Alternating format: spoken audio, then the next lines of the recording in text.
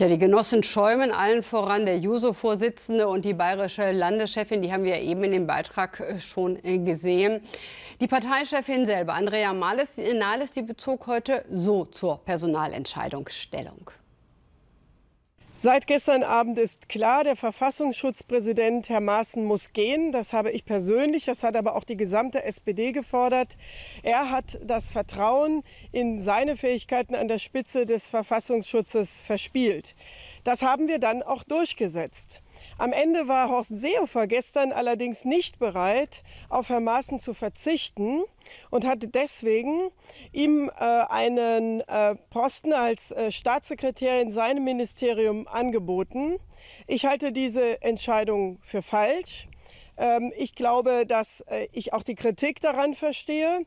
Aber diese Kritik hat auch einen Adressaten und er heißt Horst Seehofer.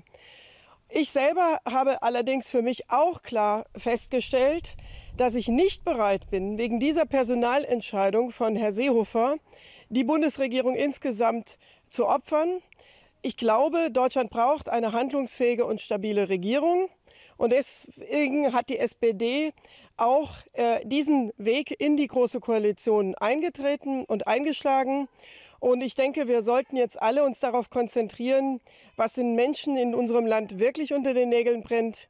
Das ist sichere Renten, das ist bezahlbarer Wohnraum, das ist eine gute Pflege.